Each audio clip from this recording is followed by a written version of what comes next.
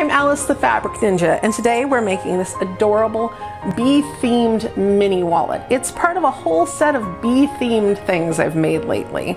I'm going to be using this when I go to QuiltCon in February so I can have my business cards with me and a place to keep business cards that people hand me.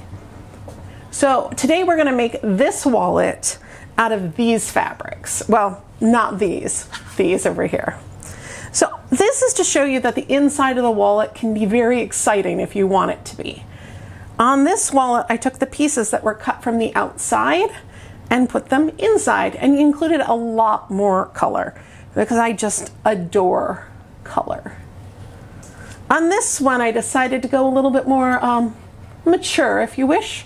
And on the inside, I, um, since when is hollow mature? I don't know, but I love this stuff. It's holographic faux leather. And I used an extra piece of fabric, not in my original instructions, to actually back the faux leather here so that I would have that black on the inside. And this is just a magnet. I have two of them in here to hold it closed while I show things on video. But most of the time this is just in a pocket so it holds closed on its own. Of course, you can actually add a proper magnet closure here or even a snap or a button and loop. You can always add to the patterns in the way that you like. This wallet is all made with quilter's cotton, and unfortunately the design has just not held up the way I had hoped it would in quilter's cotton.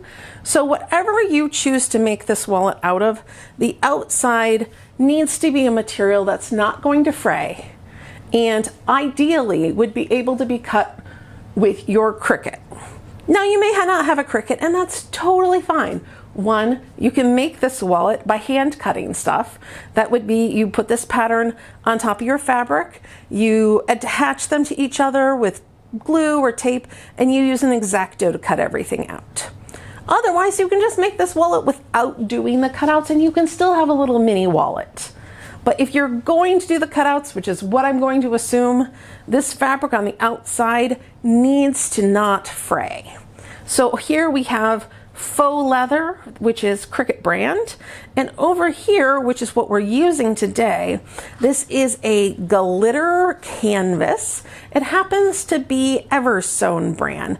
They sent this to me and I, I just love it. I did a little sample here and you can see how well that cut out and I stuck the pink behind it so we could get an idea of what our project was going to look like today. I always love doing a tester and in the files for this you will find this little bee tester so you can make sure whatever material you're using is going to work okay and you get all the settings right before you start working on a bigger scale. The outside of the mini wallet is really what benefits from being cut on the Cricut and using that precise fine point blade. But all the other pieces, the backing, and the pocket pieces are just rectangles and they are super easy to cut out with your ruler and your rotary cutter.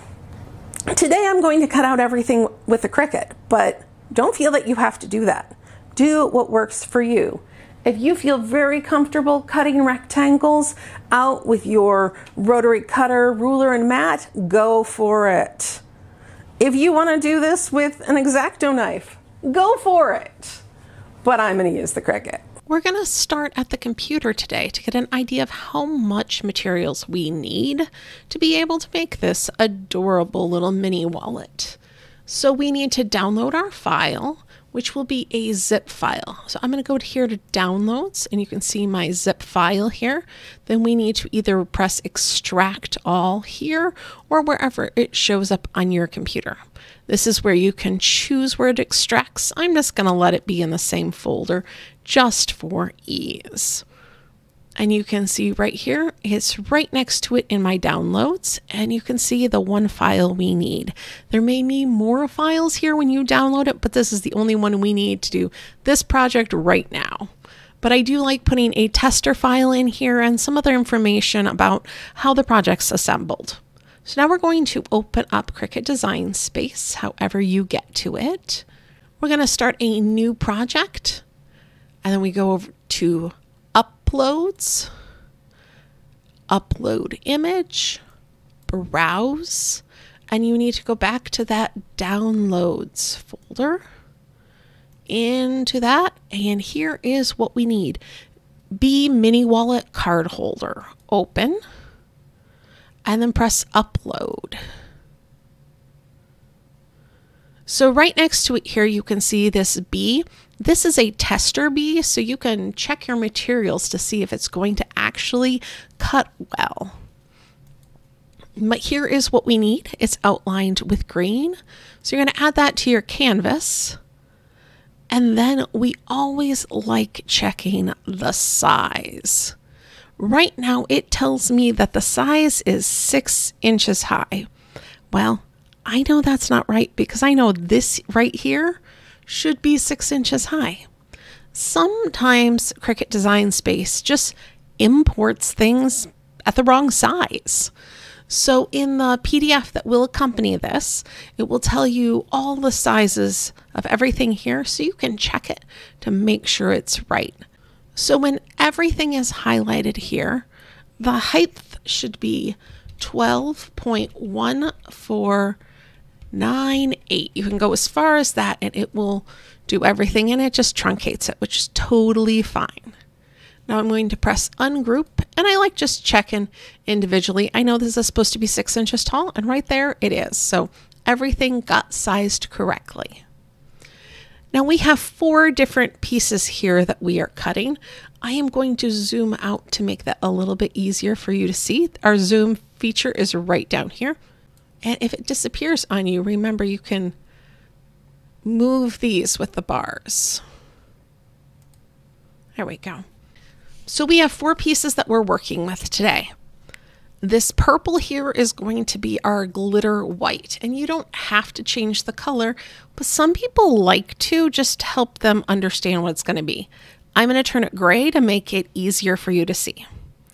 Now this yellow here, this is the part that actually goes behind here for the see-through. And for today, this is going to be pink. Oh, not quite. Well, we'll take it.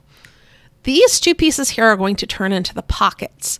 And today these are also going to be that glitter white, but you could make them anything you want. So changing the colors also will help Cricut put things together on the right boards. So now that we have these, all we have to do is press make it.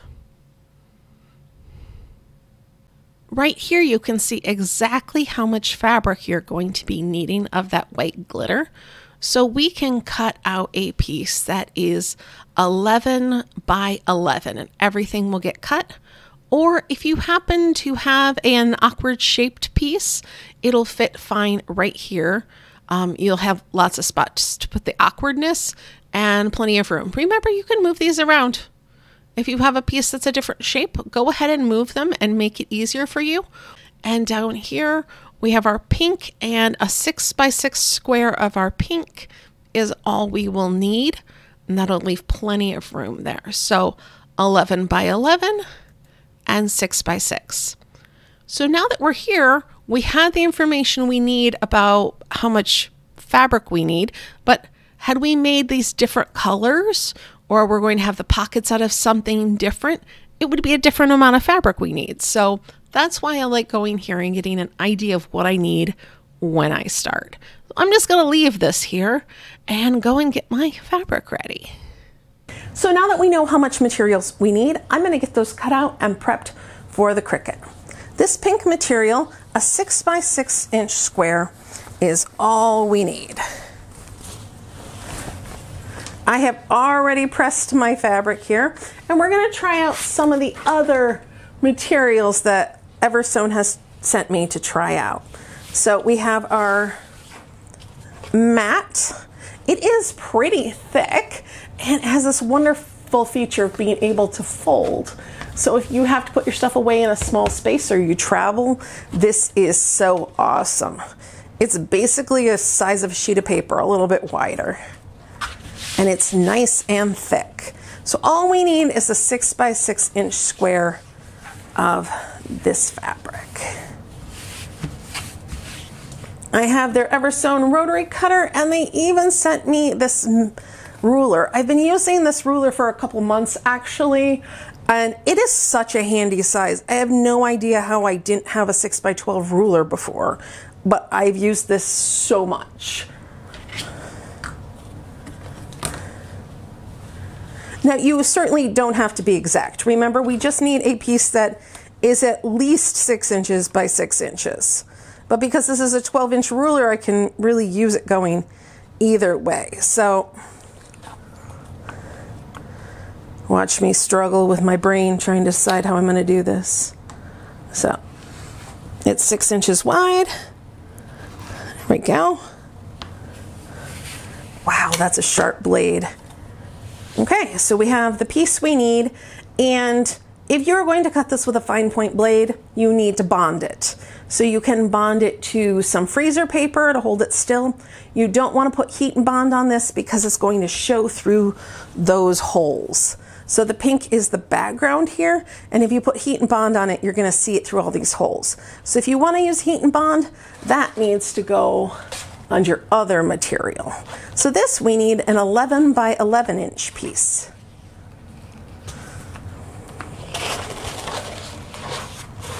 And there was lots of extra room in one of our corners when we were looking at it. So I don't have to worry about that little cutout there. I guess I could have just turned it the other way and not moved it. That would have been smart. Super nice. Okay, we have all the materials we need. If you would like to use heat and bond and you only need to put it in the one section that's going to cut out the main body. So I have my heat and bond on here, which is pretty much impossible to see with the white on white on white, but it is right here. And this is where I'm going to make sure that piece gets cut out. When I did my test, I also test what mats to use. So we are going to use a strong grip mat for our canvas. And I tested it with the canvas side down, the glitter side up. The glitter just does not give our mat much to hold on to, which is why it's really not ideal to have it down. I am pretty sure that the Cricut adhesive on these mats would manage to pull some of them off, and that would just give your mat somewhat less life. So we try to keep our mats going for as long as they can. And because I did a test, I know this works. Also because the front is up, I don't have to mirror this at all because I'm cutting the way I'll be looking at it. Next up, we have our little piece of cotton. We're gonna be doing this with our rotary blade, and you can use your fabric mat. This is a very new standard grip mat, and it is so, so, so sticky. So I'm gonna put it straight on here. And again, I'm using the rotary blade, so I don't need to bond this. If I was using the fine point blade, it absolutely needs to be bonded. So we have these ready to go. Let's head over to the Cricut and get these cut. Okay, I have everything ready to go. So we have our two mats. We have to check to make sure our mats are set up the way that it has everything. And remember, you can move stuff around if your mats do not match up. This is all set up the way my mats look like. Awesome. Press continue. So now we need to look at our materials. That first glitter canvas. So this is my Cricut Materials cutting log. This is just a document I have in Google where I keep track of things I cut out. And here we have white glitter. Eversewn brand. It was white and I use the bonded denim setting. And then over here, I would put whether I used more or less. And this is a spot where I write down what its actual setting is in Cricut.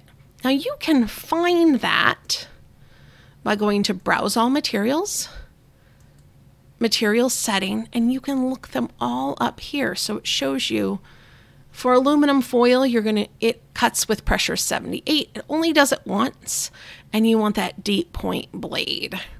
So this is such a rich amount of information, but I actually just put it into an Excel document to make it a lot easier for myself to be able to really search for the stuff I want to and to quickly access all of this. But this is where you can find that cut pressure and how many times it cuts and what blade it wants to use.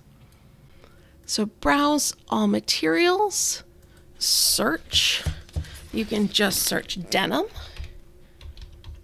or you can go to fabric, whatever works best for you. Denim bonded.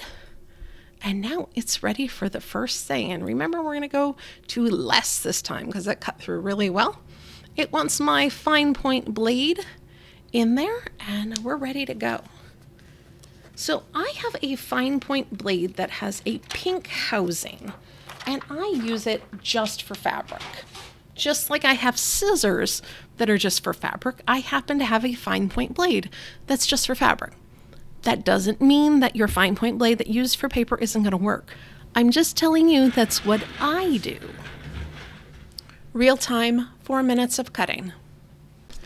Now we have our second one, and I am going to change everything up because this is not bonded denim anymore. It's just a piece of quilter's cotton. So we're going to go browse materials, fabric. It's kind of a big category here. Wow, look at all of that. But calico is the word we want. And as I suspected, it wants the rotary blade, and that's what I want to use. So let's go change that over and get this going. Real time cutting, 23 seconds. Everything is cut out. So let's weed it so we're ready to sew. That was easy. I'll clean that up later. Many fabrics, when you pull them off the mat, should be treated just like if you were pulling paper off a mat. You want to flip it over and release them. So now, this is what we really want to see, right?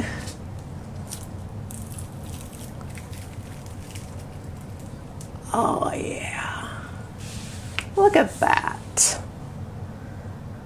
So we have a couple of things that are stuck, but I do think that they're completely cut.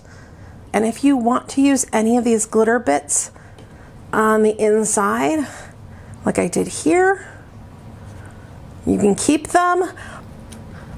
Yeah, um, getting paper off of a strong grip mat, that's exciting. Now let's get out these last few pieces.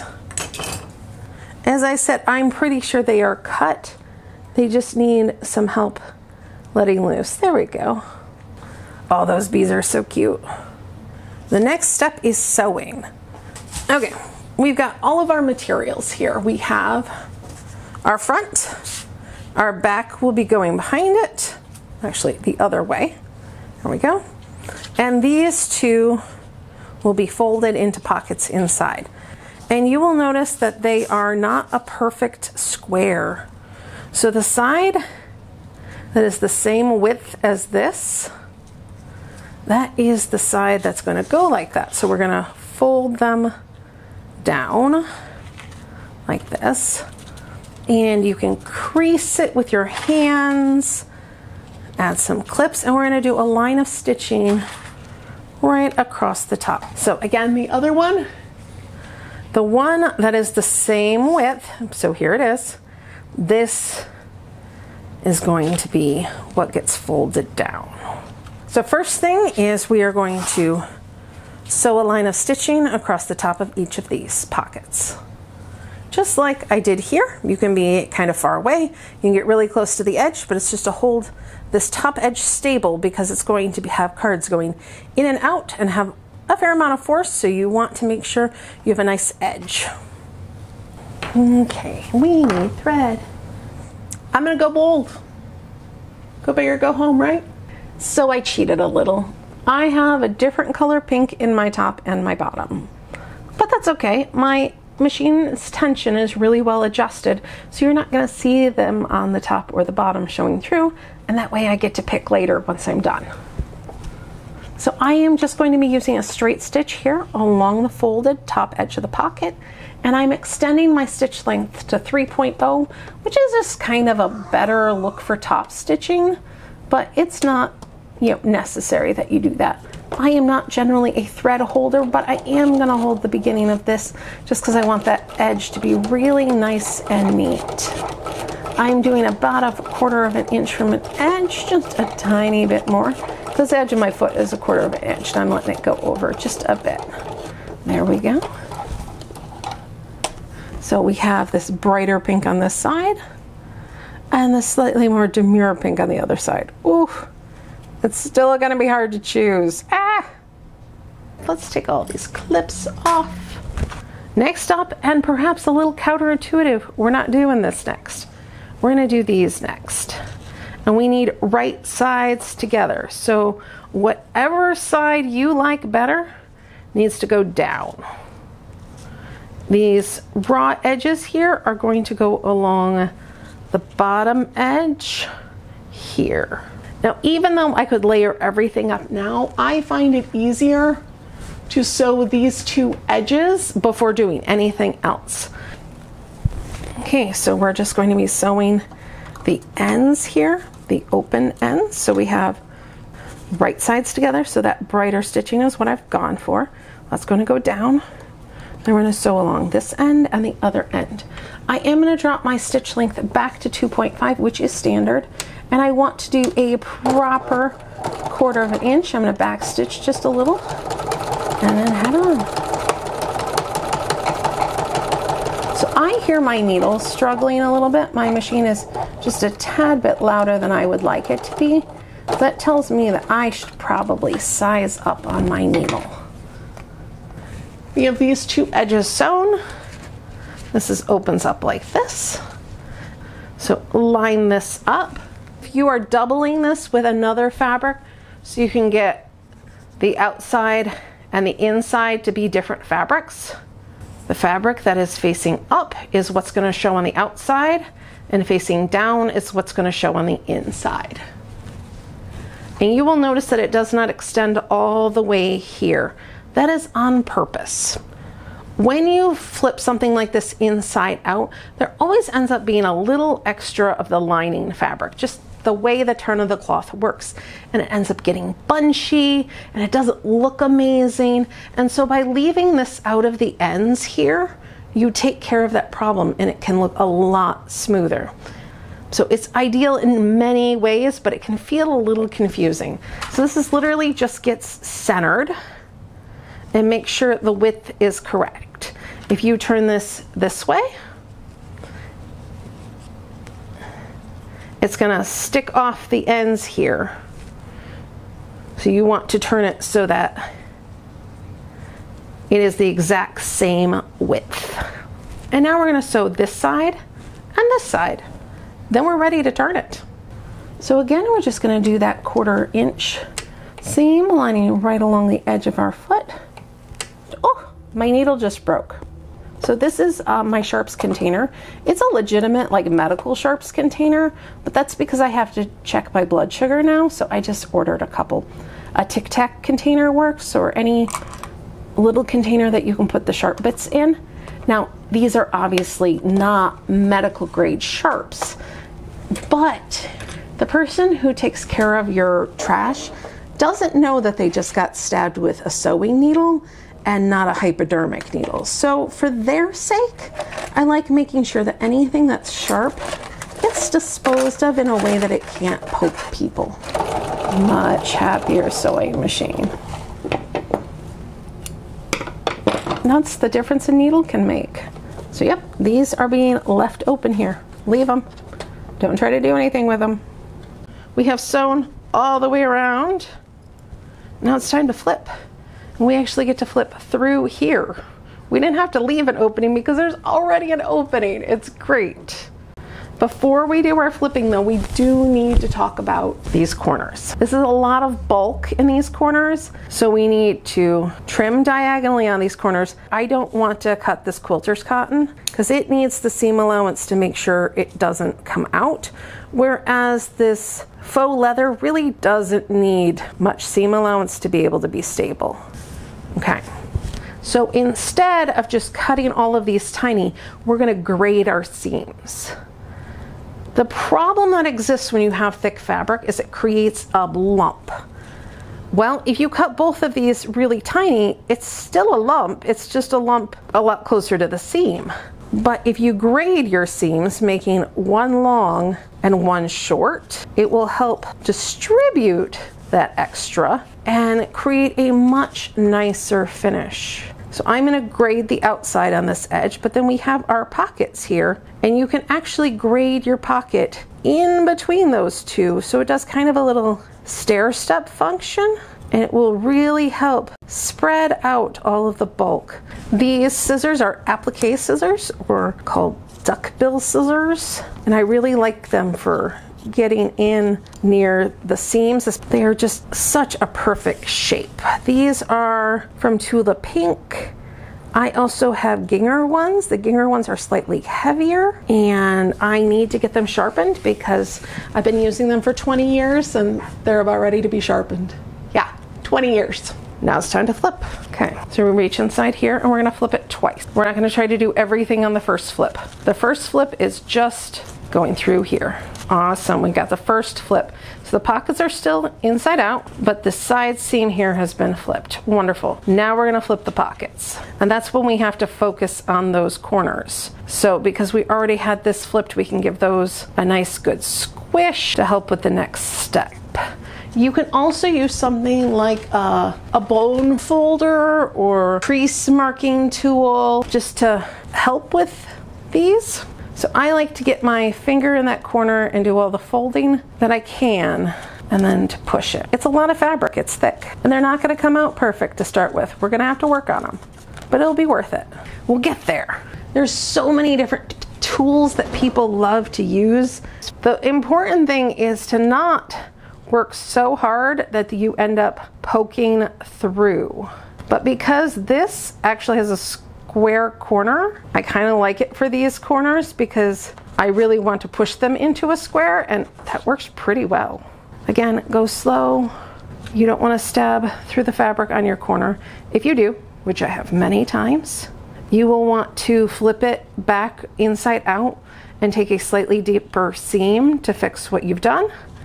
And then just turn it again and try again. It'll be okay. You can also work at them from the outside, but that is more dangerous than the inside. Sometimes you can pull them out, which is what I do with regular fabric. Gotten pretty good at that, but you can really mar your fabric by going in here and trying to pull out the point. Look at those corners. Those corners are nice. And you see this extra fabric? That could really be rumpling up if those ends were attached. So this is perfect. It allows everything to lay flat. We're doing the top stitching around the edge now.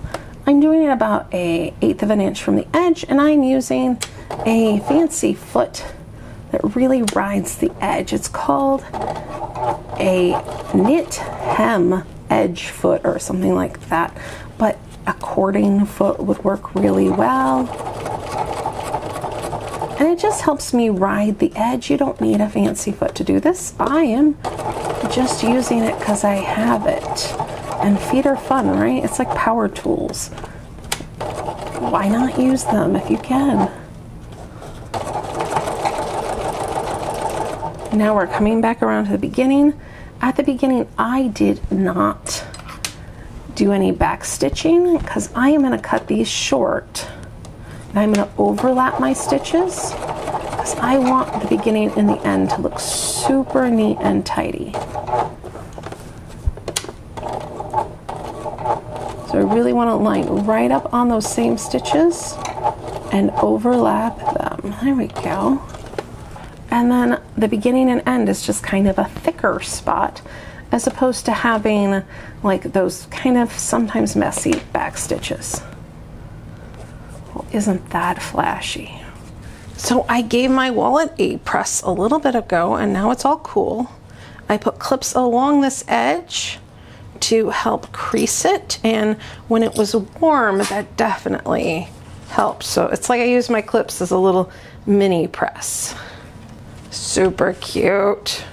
Now if you are using all quilters cotton for this, or if your fabrics are lighter weight and don't want to press, doing a single line of stitching along the crease does wonders. I just don't really want to do this because these look a little bit higher end and having that line of stitching just doesn't quite look right to me. So I just decided to crease these with a little heat and a little persuasion from my clips. It really turned out adorable. So if you are in love with these bee things, I have more. I have these two box pouches, um, some cards, and a paper lantern. I really got into this bee theme and I hope you love it as much as I do. Check out the link below to find out where you can get these patterns. If you are watching this video in the beginning of 2022, these two box pouch patterns will be premiering as part of the Cricut Craft Fest in the later part of February. Make sure you check out the link below to find out where you can get all of these patterns and more. I'm Alice the Fabric Ninja. Have a wonderful day.